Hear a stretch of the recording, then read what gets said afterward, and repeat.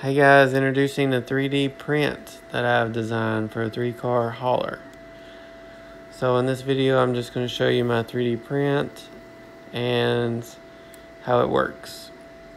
So I've sold quite a few of these on eBay so far, but I have not made a video of a like a review. It's kind of hard to review your own thing that you designed, I guess. But I'm just going to demonstrate how easy it is. Um, it's super simple and it does hold the cars on there fairly good. Some people just want it for display, some people want it to actually play with, and you can do both with this. Got the Hellcat Challenger up there on top. We're going to grab the BMW next. Got on two wheels there for a second. And I'm not pushing down, guys. I'm just driving it on there with a little bit of pressure. Not much at all.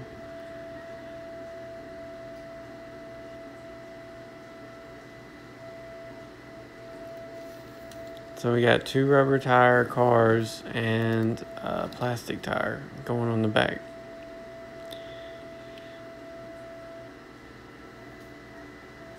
And sometimes the plastic tire ones on the back doesn't want to catch because it's actually on the trailer, not on the the plastic 3D printed piece. I'm gonna pull my my other Dodge out. That's just pulling a normal gooseneck Greenlight trailer and you can only fit two Hot Wheel trucks on.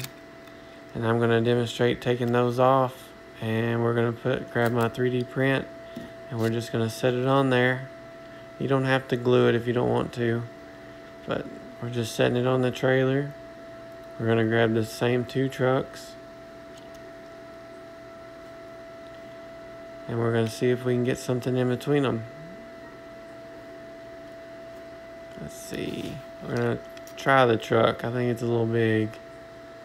Yeah. In real life, I don't believe you could fit three trucks on a three car hauler anyway. But we can fit a Corvette in the middle, or on the back, or up top And all three of those are Hot Wheels there on the red trailer. And there's my 3D prints. And this is kind of my little layout here. I'm going to move the trailers around, show you that these guys don't fall off fairly easy.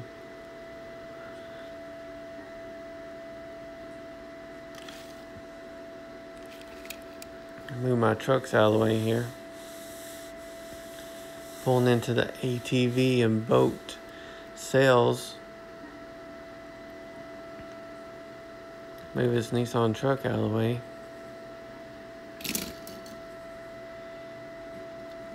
Oh, my Corvette fell off.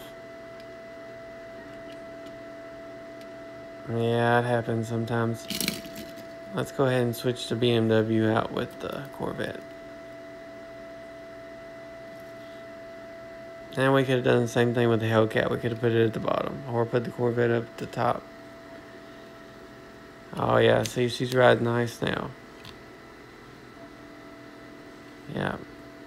Corvette's a little crooked, but she's not falling off. BMW's not moving.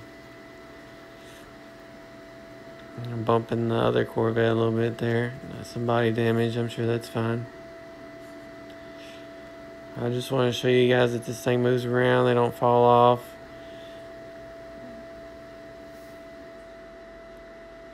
And there's an overview of my three car hauler attachment. And you can buy this picture right here, you can buy that all together on my eBay.